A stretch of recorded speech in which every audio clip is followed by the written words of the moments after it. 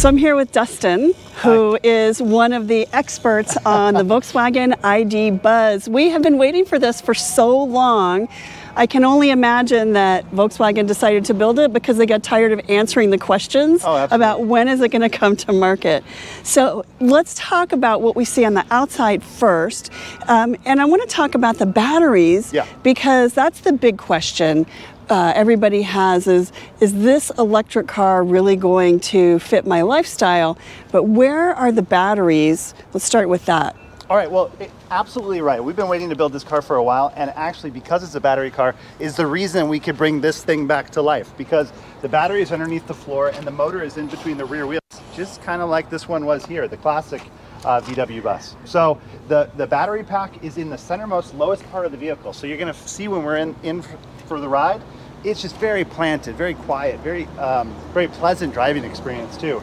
Uh, and this is built on our MEB platform. So you know our other what does meb mean that means our modular electric toolkit is what we call it. Okay. That's uh, kind of fancy, but it's just our electric platform.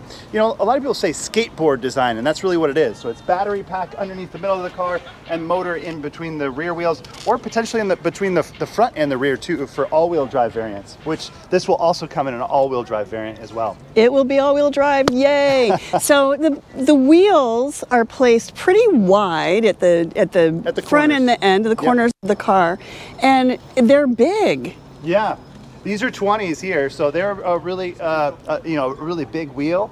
Uh, but I think what you'll see in here is because of the footprint of the car and the size of it, long wheelbase, uh, is that it actually rides quite well, even with those big wheels on it. Yeah. Well, I always think of the big wheels as sporty, but these really give you capability Absolutely. and comfort And style too. Let's be and honest. style. Yeah. So there's another thing that you guys put on all your SUVs as well, and that is this. Pop open that door. Yeah. So the Sliding doors, sliding door. yay!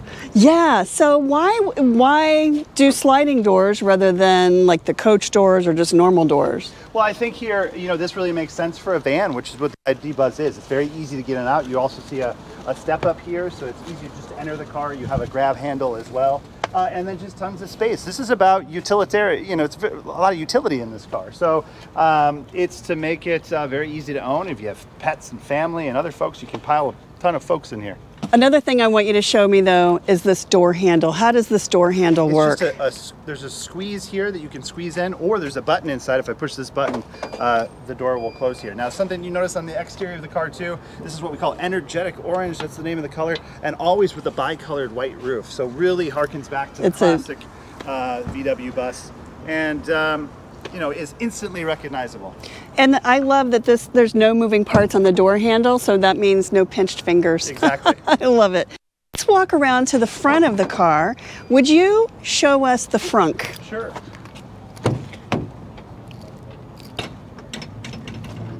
Look at this. So the ID, the Volkswagen uh, emblem actually pops out. And what is in the frunk? So you see- storage? Do we have storage in here? No storage up here. You see, there's not a lot of space in here. Really, just windshield washer solvent uh, to be able to put in there. Uh, but uh, yeah, it just comes down like so. And a few other mechanical Yeah. things, and probably some uh, crash resistance Exactly. technology. But how cool is that? That's where you put in your windshield washer fluid. Um, another thing that you'll see are the ID4 lights that we have on the similar to the ID4 lights you that are light bar through similar here. to the ID4. Exactly. Yeah, and but a unique lower front grille, and I see a lot of cameras here. Mm-hmm. to help with the, the assisted driving system. Assisted driving system. Yeah. Let's walk around to the back and show me the cargo area. Okay, great. And is this just a Just, pops pop open it? like that. Oh, There, there we go. Oh yeah, there it Now, is. this one has the European charger in it now, but of course the American car will have a a CCS2 port. So this would be for level two and level three. You use both of those. Exactly. correct? So this will be a J1772, and that'll be for uh, the DC Uh-huh. charging there. Gotcha. See, it has a very flat back area here. Some also neat little details the ID bus. Oh, right look at this! That nice little Easter egg there. How clever is that? Yeah, very flat. You see park distance sensors down there. This is a power lift gate. And here's everything in here. Tons of cargo room actually. And the car that we're going to get in the US is actually going to be a slightly longer than this, so even more cargo area. Uh-huh. And we'll have an available third row of seats as well. Um, in here, you see some of this nice detailing in, ter- in terms of color match trim, and then more little Easter eggs like the buzz right in there.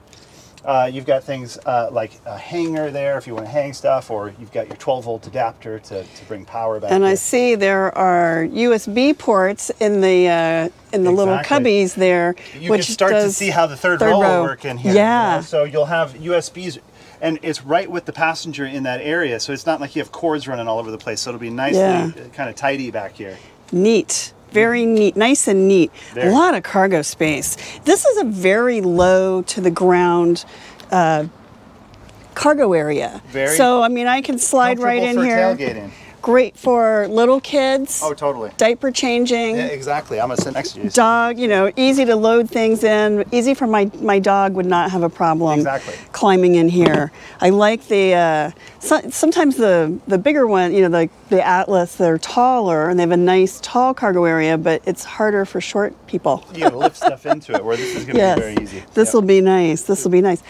Should we take a ride? Let's do it. Let's take a ride. Yep. So now we are in the ID Buzz, and Mark's driving, and Dustin's back here to give us uh, Yep. more information. And we're going to take a little spin sort of around the block. Um, 200 horsepower roughly. Yeah, about 201. So you're right on right on track. 150 kilowatt motor. Uh-huh. Uh, this one has the rear motor, but like I said, we'll also uh, offer a dual motor variant, Uh-huh. wheel drive. So very similar setup to the other MEB vehicles, just like the ID4. So, Mark, you have to know, is a very esteemed performance driver. So, hold on to your hats. But you get a you know you get a, a good view with Mark driving and how differently this car drives than the classic bus. Uh, this, Oh, yeah. This has got lots of power. It's very smooth, very usable, uh, and really embodies everything that this car has meant to people over many years. Uh, and now it can do it with zero emissions, and it's a very important car for us. So one key difference between this and ID4 is on ID4 the, the rotary control for the modes. Right. I noticed that's a different gear So selector. the gear selector's on the columns. Is it a. Do you push it? Just No, twist it the same way. twist twist the same way, So okay. Twist, twist that way for reverse, that way for D or B mode. Gotcha. So And have you been driving in D or B? I'm currently in B, so when, when Okay. I lift off, it will slow down. That Yeah, and you know it's funny. You you feel that. Um, I think that will be the uh, the learning curve for for many of us to uh, make sure that that's comfortable for all of our passengers. Learning to drive in B mode. Yeah, I think. Well, I think you know one of the thinkings behind us having a sort of a, a coast down um, action, as it were, is when you drive a regular ICE car, you always coast to a stop. Um, so in this car in D mode, it's it's more of a coast down rather than a sort of one pedal type of approach. Yeah, it, and there's not a some car some EVs have the all the different levels of regen, and Volkswagen decided not to do that. Yeah, it's much easier. You know, getting into an ID vehicle is is the transition from an ICE to an ID is very simple because if you just put it in drive mode and you get into it, you've never driven a, a, an EV before, it would be very familiar. Uh, you know, there's nothing in here that's daunting in terms of oh, geez, in terms of getting an EV. And we've really thought about that through the entire offer structure of all the products that we've brought to market. So, in thinking of the, the, the price point in terms of accessibility to get somebody into a car that's more affordable than some of the other EVs that are on the market, the range, and thirdly, charging too. Uh, with ID4, for example, it comes with three years of charging included vehicle, so you can drive across the country. So it's interesting how you have it seems so flat in the front when you're looking at this bus from the outside, but on the inside you really do see how broad the dashboard is, and then these beautiful details. I love this um, this wood. It's it's is it actual wood? Uh, it's a laminate. But It's a it- you know, laminate, it's got yeah. a really nice feel to it. Really pretty. I know, but it feels so smooth. That's why I thought I expected it to feel textured, but it doesn't. Yeah, everything that you'll see in the cars, we really try to work towards sustainability, even the seats and everything else. Um, so you know these the materials in the seats, for example, this is leatherette and a cloth material. Mm-hmm. Uh, so we really try to be as sustainable as possible. And I noticed there's a USB port here in the door. Exactly. We don't That's want so clever. across uh, all over the place. So yeah, that's Yeah. very easy for the driver and the passenger. The driver has two USB ports and then also wireless charging where Mark has his phone. And then in Mm-hmm. your door you have USB. It drives so beautifully. It is not slow. It's a it's very very. No, check quick. this You out. See around this Woohoo! corner that it's planted, and that's because the battery pack in the floor, lowest uh, point of the vehicle, uh, the heaviest component, really gives the car a very planted feel. This is great. It feels really nice. I will say the open, the you know, feels very open and airy in here, and so you don't feel Not, cons- claustrophobic. not claustrophobic. That's the word I was looking for. Is there going to be a sunroof at some You know, in terms think? of the offer structure, we don't have all of that set yet. Obviously, this one doesn't have it. Yeah. Uh, there's some things with sunroofs that we've got to think about in terms of um, efficiency. Uh, you know, when we start to think about uh, the weight of a sunroof, and even as we open the sunroof, you start to lose some of your uh, aerodynamics. Aerodynamics, So yeah. um, that'll be something that you know we're, we're going to try to think of all kinds of cool things that we can bring to the bus over the years that it's in the market. I love the uh, sunroof in the ID4.